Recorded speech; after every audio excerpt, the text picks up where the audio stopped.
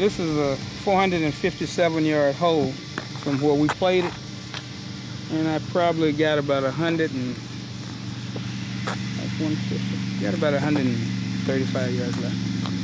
That's about normal. This is Eddie Payton today. You'll normally find him on the golf course. You see, 13 years ago, Eddie returned to his alma mater, Jackson State University, to become the head golf coach. Don't laugh. Believe it or not, it's a sport he's loved almost as much and almost as long as football. I went to the golf course from age 10 till I graduated out of high school three times a week. I mean, 365 days a year.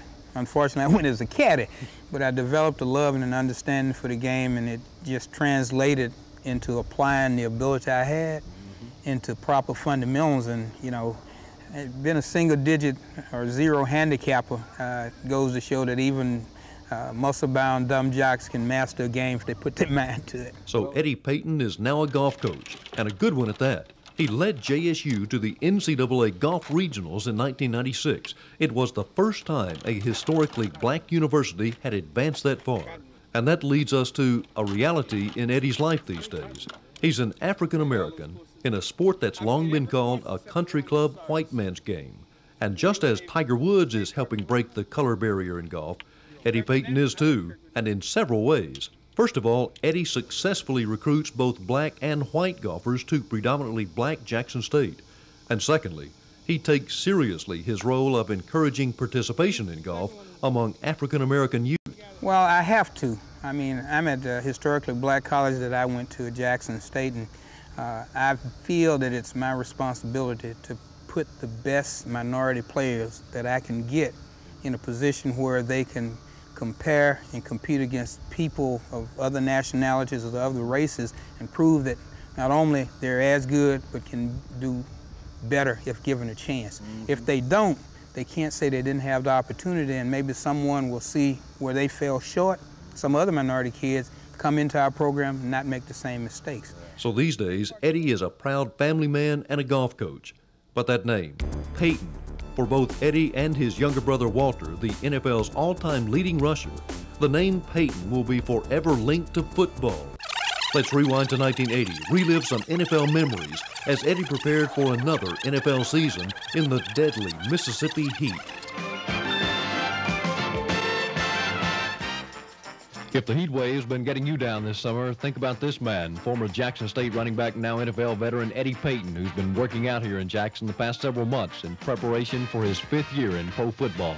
Training is hard anywhere you go, and uh, the harder it is while you're preparing, the easier it'll be when you get to camp. Uh, I'm real happy to see these 100 degree days because it makes me work that much harder.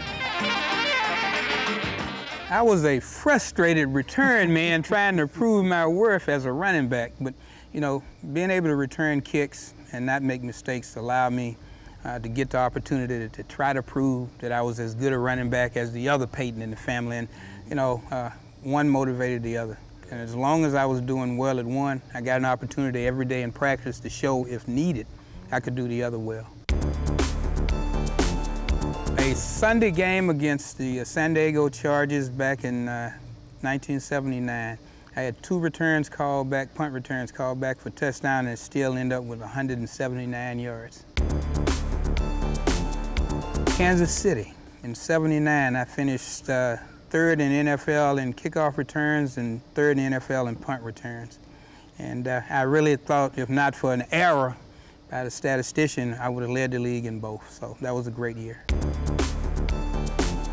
Yeah, Ron Rydalch. He played for the Chicago Bears. I, I think he was from maybe Texas or somewhere. He covered kicks. He was 6'5", 275, ran like a deer, and I cut back right where he was and never saw him coming. Uh, the smell of the smelling sauce that I was given repeatedly to revive me left an indelible impression on me and, on, uh, and about his ability.